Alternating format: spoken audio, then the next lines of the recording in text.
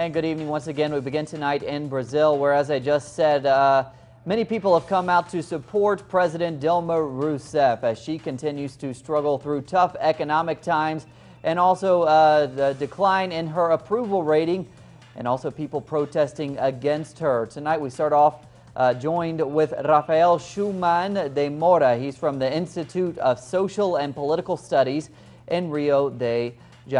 Hello, Rafael. Thanks so much uh, for joining us. Um, to start, uh, give, give us an update on what we were talking about there. What's currently happening in Brazil with those marches in favor uh, of President Rousseff?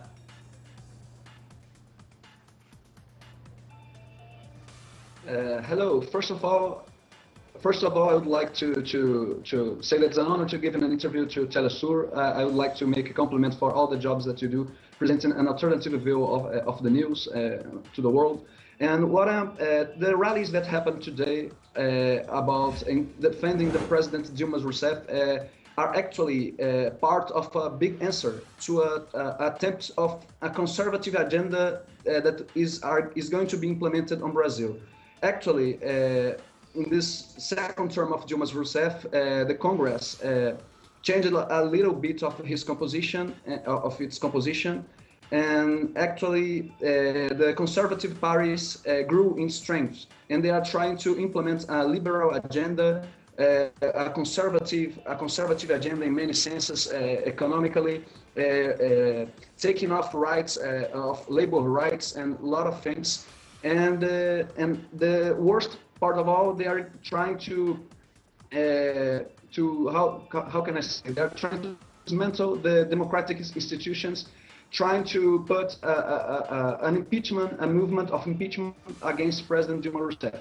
And the movements today, the rallies today, were uh, uh, a, great mobilization of all the, the, the unions of Brazil, the, the, the biggest unions, the social movements, uh, to to give an answer to that to that conservative agenda and to to affirm the defense of the president of the president's term and to and to oppose to the, this attempt to of implementing a liberal agenda in Brazil, economically speaking. So I think it, uh, I think that this is the biggest point here. Uh, actually, in Brazil, we are having a big trouble because uh, we have the a lot of conservative forces are gathering and trying to, to, to dismantle and to subvert the democratic institutions. And they, they have uh, support of the Congress that is almost totally controlled by, by physiologist forces of the, the uh, mostly the PMDB, that is the uh, center party, and PSDB, that is a, a, a right-wing party. And these rallies are uh, an attempt of the government and of the social movements that support the government, Dilma Rousseff, to stand against all of this of these things and all of this uh, uh, all of this agenda and all of these ideas they are trying to implement and all this movement to to to to have an impeachment here in Brazil. Okay. That's a, a, a, big overview of this movement today. Uh, it would be like something like that in okay. my opinion. Rafael, I wanted to ask you real uh, quickly here. Um, you're there in Brazil, so so what's the mood uh, at the, this rally in support of Rousseff? You know, people who have supported uh, her and supported her party, are they worried about the situation there? Um, what's their mood? Uh, sorry, uh, I didn't, I didn't, I didn't heard. Uh, I think we have a problem with the sound. Could you repeat once more, please? Sure, no problem. I'm, I'm wondering if you could tell us about the mood among supporters uh, of Rousseff at these rallies and supporters of the the Workers' Party there in Brazil. Are they worried? What's the, what's their attitude? Okay, well. Uh, uh, actually, the worker parties, uh, the worker, the Workers' Party of Dilma Rousseff and of uh, former President Luiz Inácio Lula da Silva got a, a, lot of, got much more weaker on the last election because the economic situation actually uh, Brazil uh, is growing a little bit, uh, is growing less in these last years. And then the, a little bit of the strength of the Workers' Party went away.